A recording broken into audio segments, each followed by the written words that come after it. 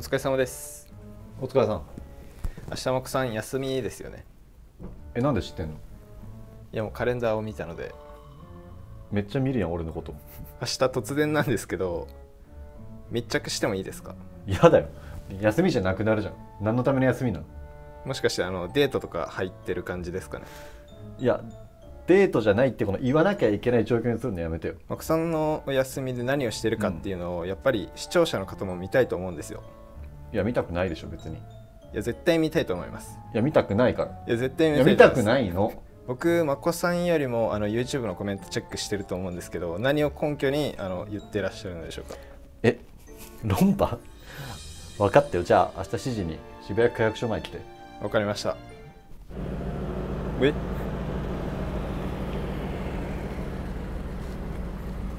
おはよう。おはようございます。これまこさんの車ですか？わけないじゃんレンタカーあそうなんですね。え寒いです。ありがとうございます。バカ寒いでしょ。バカ寒いっす。やばいですこれ。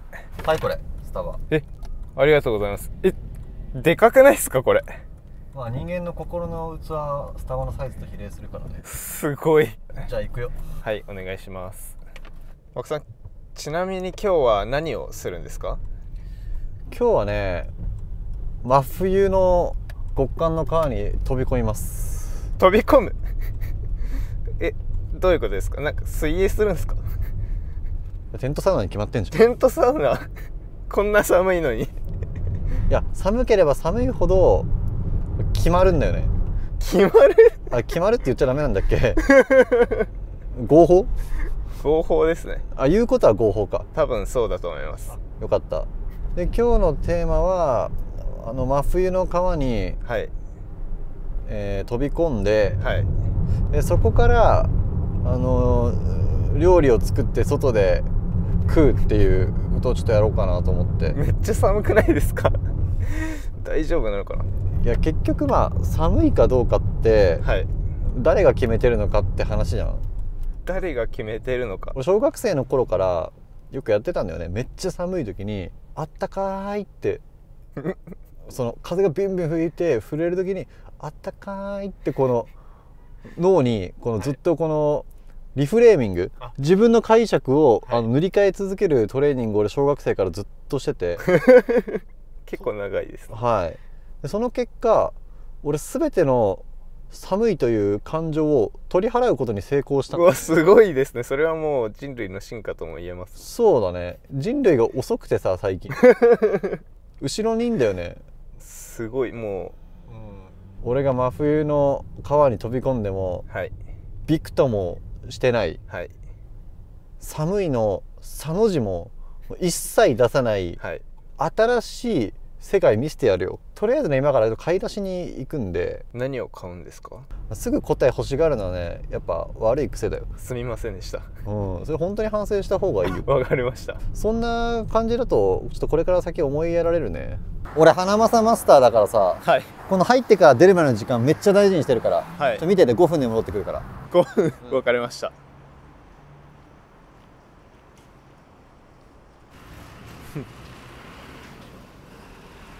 何分経った？13分です。はい。今日休みでしょ？休みです。え行かないとまあ俺はのあれだけど。うお。はい乾杯。乾杯。お疲れ様です。ああ。うまい。コーヒーあるの忘れてたわ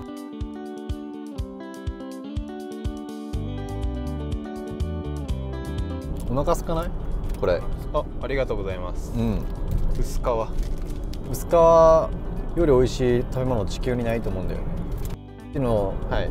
10代も薄皮みんな食べてた？もうみんな食べてましたね。マジ？はい。あとチョコチップスティックスナック。ああもう絶対に食べてましたね。普通の人言えないもんね。チョコチップスティックスナック。難しすぎて。難しいですね。あとはあのチョコチップがはい気持ち程度に入ったバカでかいメあのメロンパン。ああーありますね。とメンチカツの揚げパン。あー絶対に油がもう5リットルぐらい入ってるやつ。5リットもう噛んだ瞬間顔濡れるもんね油で。パシャーガー油が。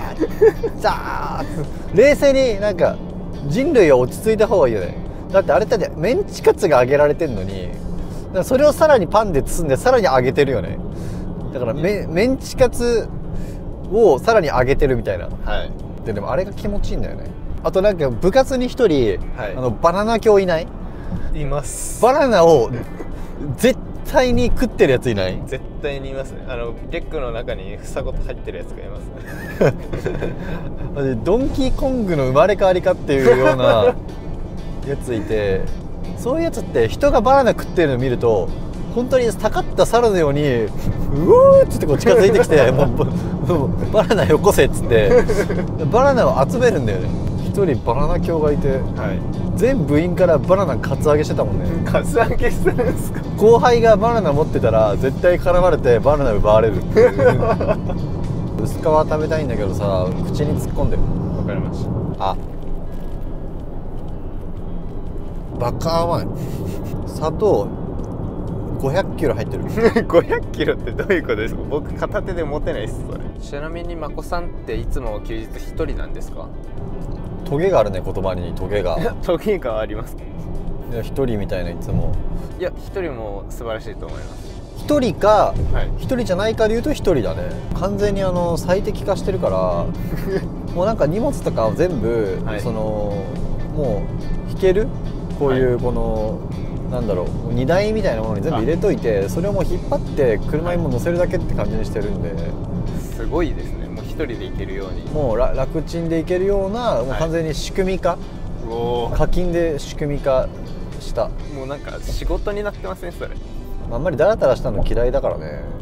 休日のじゃあ息抜きはしてない感じなんですね。よくさみんなそうやってさなんか息抜きとか言うじゃん。はい。あなんかちょっと喋り方が堀江さんみたいになったけど だからそうやってみんなはい。息抜きとか 言うんだけどそもそも息抜きとかいらねえから。ちょっと堀江さんっぽくね？堀江さんっぽいです。なんならもうまんまでしたね。堀江さん俺大好きだから。野菜食え事件とか俺好きすぎてあのストーリー。インスタで野菜食べた方がいいですよって言った人に対して長文でブチ切れるっていうのがそれがなんかいいことだとか正しい良くないことだとかそういうことじゃなくて、うん。なんか単純にその現象が面白い。そんな怒る？みたいな。で俺が一番好きだった事件もこれ何十回も話してるけどあの対談させてもらった時に、はい。あの司会者のね R25 の渡辺さんが、はい。い、やでも堀江さんはプログラミング簡単簡単おっしゃいますけど実際難しいっていう人の方が多いんじゃないですか？ってはい。言ったらもう堀江さんプッツン来ちゃって「お前何も分かってねえな」プログラミングは簡単なの? 」そんなことも調べねえでお前取材とかやめた方がいいよ」ってなんか切れててはい。理不尽すぎてはい。笑いこらえるのがちょっと大変だったの。いやいや普通に怖いんだけど、はい。威圧感あるんだけどまあ俺はなんかそういう、まあ、芸風だと思ってるから、はい。賛成反対とかいちいちつけずになんか面白いよねっていう。マクさんがサウナを好きになったきっかけって何なんですか？俺サウナ嫌いだったんだよね基本的にずっと。なんでですか？おっさんたちがなんか、しあの詰められてる場所みたいな、はい。なんとなくのこのイメージがあって、すごいなんかなんかあんまりこういいものだと思ってなかったんだけど、はい。2017年ぐらいの時にはい。第二次会社の経営危機があって、はい。まあ、社員数100名以上いる中でうん。会社がすごいこう赤字になっちゃってやばいっていう時に K 君っていう俺の起業家の友達がいるんだけど彼に連れてってもらったんだよねサウナに。彼めちゃくちゃ優秀なんだけど。はい。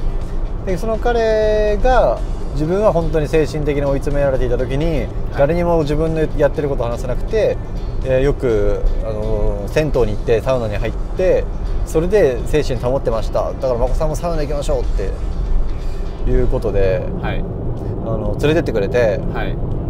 で俺は実はその彼 K 君についていった時の自分の本音としては、はい。お金借りたかったんだよね、まあ、そういうちょっと下心はありつつサウナに行ったらめちゃくちゃ良くて 水風呂入って休憩してる時にもうブワー整って、はい。こういうことかーと。思った時にはい。サウナハマったね、で帰りにえバーではいお金貸してってお願いしたらはい。それは無理って言われたんだよね。ダメだったんですか？それはダメだったね。あそうなんですね。えマックさんあのバーサウナでうん。毎日、まあ、変な話毎日サウナに入れるわけじゃないですか。なんでテントサウナわざわざ行くんですか？いやそれね聞かれると思うんだけど、はい。全然違うんだよねやっぱジャンルがジャンルが違うんですか、うん。まあ、バーサウナは本当はい。に藤森さんがはい。もう完璧にこの作ってくれたおかげで、はい。もう最高のサウナになって、はい。もう何の文句もなくうん。もう都内で一番いいんじゃないかって思うぐらいはい。レベル高いんだけど、はい。でもやっぱりこの大自然ではないしはい。6度とかそのやばい温度の川に飛び込む、はい。絶対体に悪いんだけど俺い。まだに人生で一番整ったのが、はい。テントサウナなんだよね。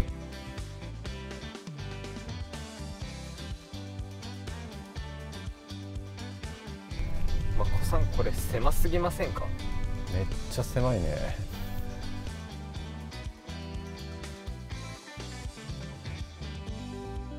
いやー着いたね。お疲れ様でした。運転ありがとうございます。いやこちらこそかなりこの開けてる感じが気持ちいいね。やばいですね。この大自然の感じが。で俺大体もう決めててはい。大体もうこの辺。あもう位置が決まってるんですか？ここははい。俺のテリトリーだから、もうここは絶対最初に押さえてはい。でここからもう行く。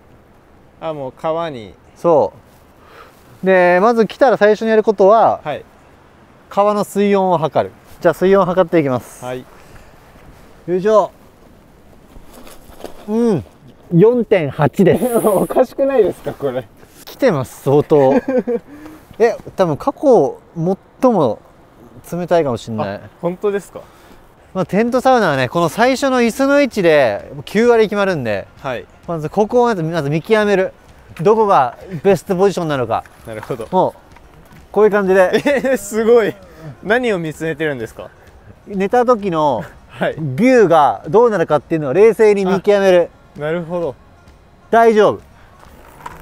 おーすごいスピーディーですね。でまずここれを寝なきゃダメ一回。あ。ここで本当にいけるのかっていう。シミュレーションすシミュレーションする。もう整ってませんかこれ？あーいい完全に決まったこれは。今日はここでいきます。わかりました。じゃあ椅子の位置決めたんでテントサウナ張ってきます。はい。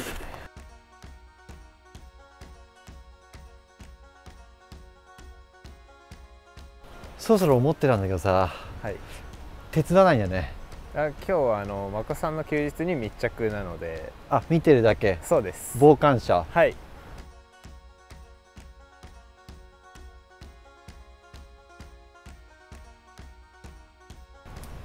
できた。まこさんこれ何してるんですか？えこれストーンだよ。ロールのストーンをねこの並べるっていう。すごい。これ結構ねやっぱはい。一番大事なんで、ストーンストーンロールがないとねやっぱり。始まんないからさ。はいでは1分でできるサウナストーブの着火講座。てるてててててるててててこれコツとかあるんですか？コツはねやっぱ酸素をたくさん木に食わせる、おその構造をいかに作りきるかなんだよね、普通にやったらダメなんですかねこれ。あこれ結構最初ね慣れてないと火消えちゃったりとかするし、はい。ここいかに早くこの一発でうん。つけるかはい。ちょっと見てて。わかりました。大体こんな感じでこの真ん中ねなるべく開けないと空気が通らないんではい。中心を開けるようにしてこうちょっとクロッシングしながら入れていくのがコツ。中心部分もなんか入れるなって言ってたのにこう入れちゃうみたいなね。でここに着火剤ドバー。なるべく俺的には奥に置く方が好き。いきます。はい。バーニングしていく。でここははい。臭くなるまではもうがっつりいく。まだ行くんですか？いや俺は絶対にこいつらを仕留める、え仕留める？うん。戦いだったんですか、うん。これ途中でやっぱりとどめを刺すまで やりきって絶対にこれ燃えたっていうところまで俺は続けるいつも。えでこれはもう絶対燃えたでしょっていうあ白い煙が見てけこんぐらいでもうはい。OK、これバイプッシュでこの風を送るマシンがあ あるんでここであのまず顔面のこの潤いをケアする。まず。逆に乾きませんそれ。いやまずじゃあこれで風を送っていく。おお勢いがすごいもう完璧に火ついたから、はい。あとストーンが温まるの待たなきゃいけなくてでこの間にあの調理をあのこの後ご飯作るんでそれ先にもう準備しちゃいます。まこずキッチンへようこそ。今日のレシピを紹介するよ。はい。今日はチゲ鍋だよ。まずはい豚バラしめじ豆腐大根。一本丸ごとなんすか？でかすぎません？これしかなかったの。すいません。キムチング。チング。そしてニラからのニラからのニラ。多すぎる。からの多すぎる。ニラ。ニラなんでこんな多いんすか？ニラは多ければ多いほどいいんよ。みんなニラ一房とか言うんだけど絶対4倍量ぐらい入れた方がいい。これ多分これ調理したら最後あなるほどねと。ニラこのぐらいあった方がいいんだって納得してくれるから。分かりました。そして調味料各種。今回は手早さを重視してやっていきます。まず大根を半分に切ってよいしょと雑なんですけど 全然半分じゃない。まず半月型に切ります。奥さんこれ全部入れるんですか？全部いきます。全部いくんすか？大根ゼロカロリーなんでね無限食べても餓死するんで大丈夫です。はい次肉切ります。でこれあまり手汚したくないんで触りたくないんですよ、はい。なんでもうこれごといきます。おお豪快。もうこれごと。豪快すぎる気づいてます？切れてないです。全く。これやるのはちなみに何回目なんですか？初めてです。作戦変更します。これもう切りません。お。これはもういきなりこれでいきすます。問題ないです。じゃあ桃屋の刻みにんにくドバー。え？え？ごま油ドバー。混ぜます。はい。お肉切った方が良くないですか？こいやもう口に入れれば一緒なんで。じゃあ火にかけます。れはい。あめちゃめちゃいい匂いがしてきました。ここでちゃんと肉に味を染み込ませるの大事。あと肉を伸ばすちゃんと。なるちなみに今回のレシピはリュウジさんのレシピ通りです。ほどバズレシピですね。バズレシピ通りです。大根入れます。絶対多い。あもういきます。もう誰も止めらんねえ。まあ大根火通りにくいんでね。切り方とかねいくらでも突っ込めるんですけど、うん。もう今日はそういうのじゃないんでなるほど。気にしません。でも大根みたいなやっぱカロリー低いものをたくさん入れとくって結構大事でそうすることで自然とお腹いっぱいになってローカロリーニンニクのいい香りが、めちゃめちゃいい匂いですね、キムチ。はい。これ全部入れです。何人前なんですかこれ？一人前です。一人前でこの鍋一杯はやばいっす。しかもこのキムチの量はやばいおおうまい。じゃあもう水入れちゃいます。はい。これ水はね少なめがいいんですよ。後から調整できるんで、なるほこんなもんで。じゃあ調味料入れていきます。まず白だし大体ドバー。ソーミシャンタンウェイパーですね。これも大体ドバー。まあこんなもんかな。でコチュジャン、ね、コチュジャンね。コチュジャンも大体ドバー。料理酒ドバー。で味は最後に絶対調整します。なんで大体入れといて自分の味覚で好みの味にしていきます。でこれで一旦あの調理は終わりです。あとはサウナが終わってからやっていきます。じゃあそろそろサウナストーンも温まったと思うんで入っていきます。じゃあやっていきます。じゃあ入っていきます。どはい。いい感じっすね。えー、今がね見てください110度。これおそらく130度いきます。えー今日のアロマはバーサウナオリジナルのウッディサンダルウッドを持ってきてます。これめちゃくちゃいい香りなんでこれもう本当にものすごい種類の中から調合して最高なやつ作ってるんでやっていきます。はい。OK もう120度超えてます、えーこんなサウナは絶対にやっちゃいけません。絶対にやんないでくださいね。危ないです。普通にやけどとかしますんで、えー僕こういう時のムーブを知ってるんでとりあえず伏せる。おお伏せればなんとかなります。やばい。爆発。もうこれ火事です普通に。あ火事起きてます。あ100えー、120度振り切れてる。あ終わった。120度。これ絶対やっちゃいけないサウナです。これまだロウリュできないんですよね。暑すぎて。でもやっていきます。うお。おい。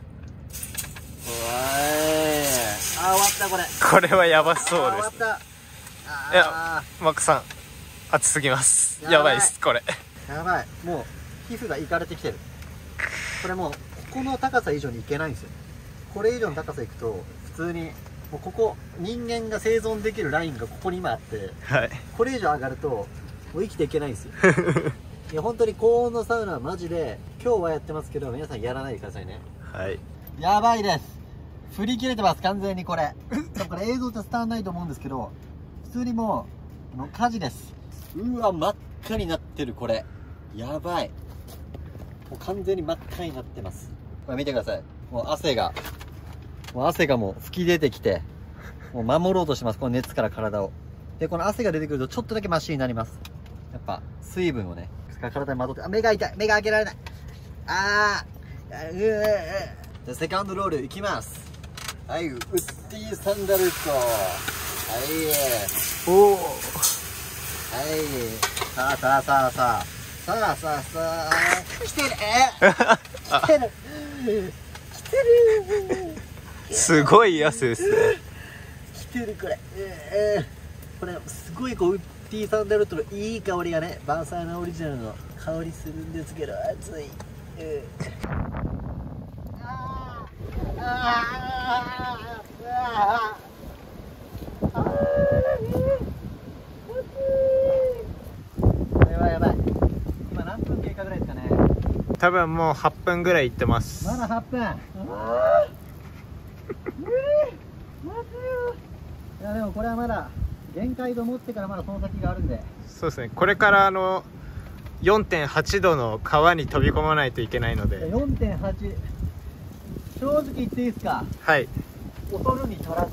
何も怖くないです。4.8 だってこれよりも涼しいんでしょ？そうです。絶対大丈夫心拍数が上がってテンションもなんか上がってきてます。やばい。マジでやばい。今ちなみに何度なんですかね？今135とかもうメーターの一番限界まで行っちゃっててそれがピクリとも動きません。振り切れたままってこやばいこれ全然伝わんないと思うんですよ外からの暑さが。地獄っすこっから一個先は。こっちはもう寒いです。こっちは死ぬほど暑いです 人生で感じたことないですあー無理無理だうわやばい。本当に一人でやってる。ああまあまだ行くよ。怪我しますつながるんでほどほどにお願いします。もう無理だなと思ったらもう出る時です。はい。そこからもう1分とかそれはダメです。あと30秒かな。はい。いきますよもうすぐあ喋れないもうあよしあと30秒。いいですか？はい。もう自分だけでバーンいっちゃっていいですか？行っちゃって大丈夫でもうす限界。では検証いきます。検証。死ぬほど暑いサウナに限界まで入って4度の川に飛び込んだら暑くない説検証してみます。では行きますよ。はい。クラスタートしてます。お。いいですか？はい大丈夫です Uh,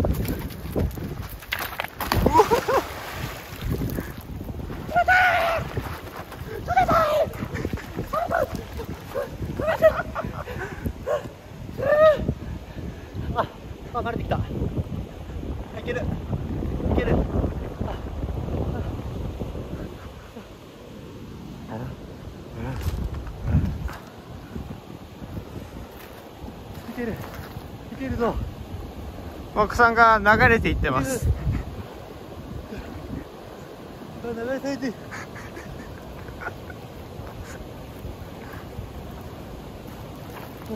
うん。うん。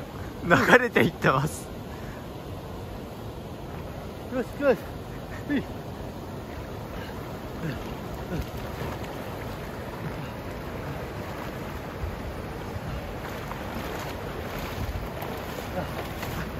検証結果を発表します。はい。バカ冷たいけど10秒で慣れて今寒くないっす。あれ？なんだこれ？え？寒くない？なんで？やってきましたこの時間が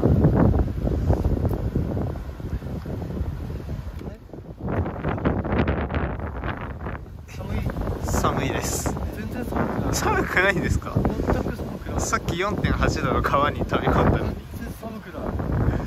えなんで？すごい。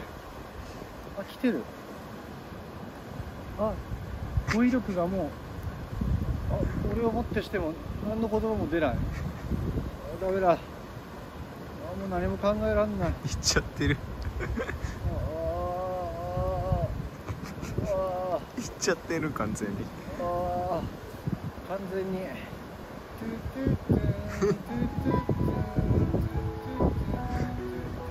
それ口で言わなくてもあの BGM を流すんで大丈夫です。えマジで全然寒くない。え。最高すぎるあーこの時のために生まれてきたの絶対全人類やった方がいいこれ真冬なのにはい寒くないんだよ寒くないんですか寒くないしか言ってない寒くない人同じことしかもう言ってないです。ただの寒くない人？になるあ寒くなってきた。あやばい。限界があやばいこれ。頭が。え待って。どうしたんですか？川が美しいんだけど。どうしたんですか？ちょっと撮って。川美しいんだけど。さっきと同じですけどえおかしいんだけど。え？世界が美世界しい。いやが美しいちょっと寒くなってきた。戻ります。はい。家に。家だったんですかこれ。家に帰ります。家だったんですね。お疲れ様でした。いやー気持ちよかったね。次はさらに向こう側に行きたいんではい。さっきよりも温まっていきます。わかりました。はい。2周目もだいぶ限界まで来てます。これやばいさっきよりもやばい。息が苦しいよ。こんなに我慢しちゃダメですからね。はい。真似しないでくださいね。ちゃんと水分摂取してくださいね。僕は1.5リットルも飲んでますよ。じゃあもう行きますよ。はい。じゃあ行きます。はい。はーい行きます。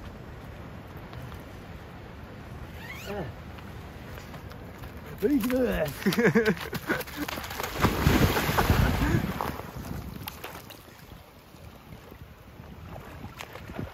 え背泳ぎしてるんだけど。なんか背泳ぎしてるんだけど。やばい。世界がぐるんぐる回ってる。え地球回ってるわ。やばい。サウナ最高。サウナ最高だったね。もう見ててやばかったです。ビジュアルがやばかったです。じゃあ締め料理仕上げていこうか。もういい感じで大根がくたくたになってるんで。じゃあまず味確かめようかな。はい。おおいい感じだね。ちょっと今日あの今日みんなに提供するわけじゃないんで。はい。ちょっと味見このままいきます。はい。バカうまい。完璧だ。ちょっと濃いめかな。豚の脂がしっかりコクになってるね。俺は結構好きじゃあ仕上げます。んはい。しめじもう豪快に。で豆腐。もう豆腐はね奮闘だったら切るけど今日はいいよ、そういうのは。ちなみに鍋で一番好きなのは何なんですいやニラでしょやっぱ。ニラを大量に入れるのがもう大好きで。かはい。いや一房とかだと全然足りないんだよねやっぱ全然。ニラてっきりあの脇役かと思ってましいやニラのために鍋って発明されたんだよ。たそうなんですね。そう。歴史の勉強した方がいいよちゃんと。あちょっとニラ多ければ多いほど美味しいから。なるほど。いやいい感じだね完全に。キノコがもう生。きのこはちょっと温まれば、はい。もう十分だから正直。じゃあ仕上げのニラぶっこんでいきます。はい。えいえちょっと待ってください。さらに。え？あいおかしい。ちょっと待って。あれ？多すぎこれ何ですか？これ。この料理なんすか？ちょっと多すぎたねいやでも詰めれば譲り合いの精神を持ってはい。ことに臨めば、はい。やっぱことは大体解決する。絶対火取らないじゃないですか。ニラって本当にマジで湯気がちょっと当たってぐらいが一番美味しいんよ。じゃあこれでちょっと少しだけ煮ます。あそうなんですね。うん。さすがに多すぎたからっていういや多くないよ。あ多くこのぐらいいがちょうどいいよニラはやっぱ。これビジュアルがすごいですね。OK もういい感じかな。はいあげます。はい。はい。何も変わっていない。やいやいや結構しなってなってるから。あ危ない飛ぶ。やばい。ニラがでも日本中にニラが今飛ぶとこなった うわニラ。じゃあいただいていきます、はい。まずこれ食べ方があって、はい。ニラはうん。避けます。避けるんすか？避けます。避けるこれはあの徐々に火取っていくんでこれ下の方のニラは結構ほらこうやっておー確かに。結構来てるんですよ、あ上だけ、まあ上をちょっと一旦あの後回しにしといて。要するにまあちょっと入れすぎちゃった。入れすぎたわけじゃないから。これがもうベストなんで。ほら火完全にうまそう。美味しそう。この鍋主役は実は大根だから。あれ？変わりました。いやしみしみの大根こそがやっぱりはい。ボス、ニラははい。フェイクではいただきます、はいうんまこの寒い中で食べるこの鍋最高だよね。大根がもうしみっしみ。いやこのね大自然の中で食べる手料理がうまいんだよね、これみんなにやってほしいな。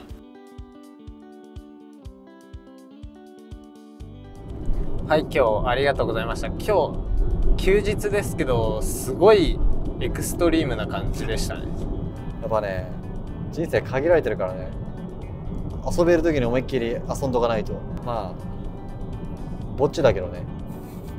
いやでもこのサウナ後のねこのちょっと夕暮れのドライブってはい。なんか気持ちいいんだよね、なんかエモいですね。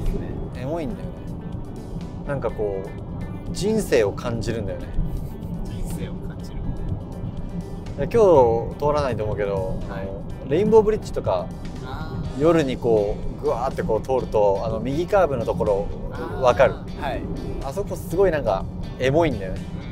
この地方に行ってこの自然の中でゆっくりな時間を過ごした後にまたこの東京に戻ってくるといやゆっくりした時間もいいなと思いながらもはい。やっぱ大都会かっこいいなって俺自分こんなかっこいい街にいたんだっていうのがちょっとまたこうスイッチが入るというか一度このネジを全部緩めてはい。またこう締め直すみたいななんか気合が入って、はい。まあ、どんなにこのサウナとかでゆったり過ごしてもはい。じゃあもう田舎で毎日サウナして生きていこうとは思わないんだよね。やっぱ好きで東京に来たしはい。東京に住んでるし、はい。まあ、そこでまだまだ自分がやれることがあると思うから、まあ、頑張ろうと思うよね。ぜひ皆さんチャンネル登録をよろしくお願いします。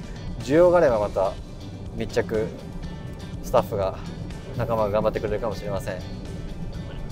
また次の動画でお会いしましょう。